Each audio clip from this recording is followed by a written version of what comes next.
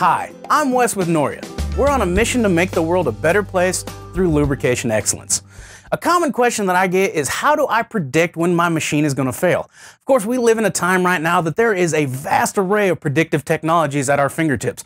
We've got things like vibration and thermography, but don't forget about oil analysis. Oil analysis is a very powerful predictive technology. So when we're doing oil analysis, if we are wanting to monitor the wear rate or how much machining debris is coming out of our systems, we want to make sure that we are sampling in a good location and getting that representative sample of what's actually going on inside our machine. So these good locations are any place that we have a live zone of oil. We want to make sure the oil is flowing in a turbulent path, and we want to make sure that we are filtering upstream of any filters. We want to pull that sample before the filter to make sure that we are not losing any of that valuable debris through the filter. We want to make sure that we are capturing all that metal.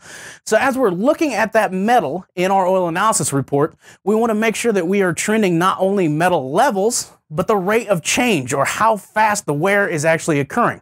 If we are like clockwork at 50 parts per million iron, the next month is 55 parts per million iron, the next month is 60 parts per million iron, and then a month later we all of a sudden jump up to 80 parts per million iron, we are generating more wear quicker. That is a big rate of change difference. So it's not just looking at the numbers, we actually have to make sure that we see that change in rate. This is a common question that we get quite a bit, and it is answered in our lubrication program development. We can actually come on site and make sure that we are showing you the right place to sample, using the right procedure, and using the right test slates. So for more information on our lubrication program development, please visit us at noria.com.